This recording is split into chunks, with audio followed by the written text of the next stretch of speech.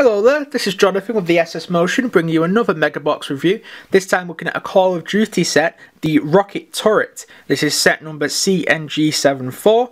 It has 80 pieces and retails for around £10.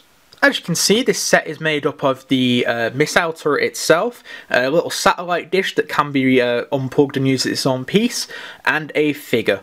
Uh, the figure comes with a black AK-47 with a little scope attached to it, a combat vest, a belt piece, and a gas mask head. Now, taking a look at the missile turret itself, this turret does rotate round. Um, it pivots 360 degrees, then you can raise it or lower it. The missiles do detach for a firing position. Uh, I'll just unplug that and let you have a look at it. It is just a red rocket with an RPG end on the end of it. Um, past that is an absolutely great detail turret. Great for an anti-air emplacement and goes well with, say, the um, Harrier attack strike fighter set or something like that. Um, the satellite dish can move up and down. It can rotate as well.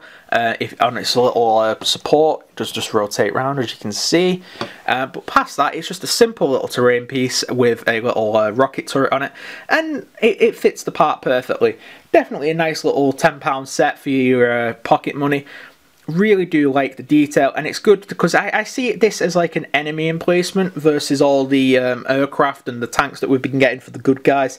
Um, so it's good that we're getting some sort of rival to take out the jets.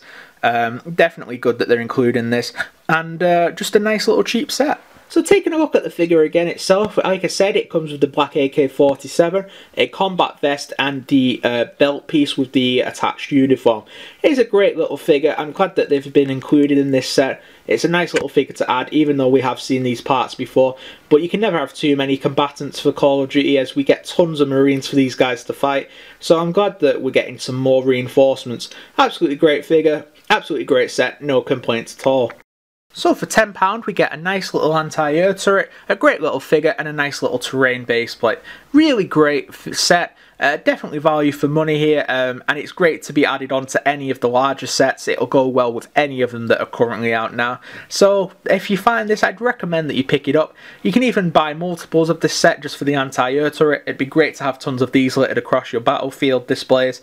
Uh, definitely recommended. So uh, that's it for this review. I hope you've enjoyed it. We will be bringing you more reviews for Halo, Call of Duty and Assassin's Creed sets in the coming future, so don't forget to like, favourite and subscribe, and we'll see you in the next review. Bye!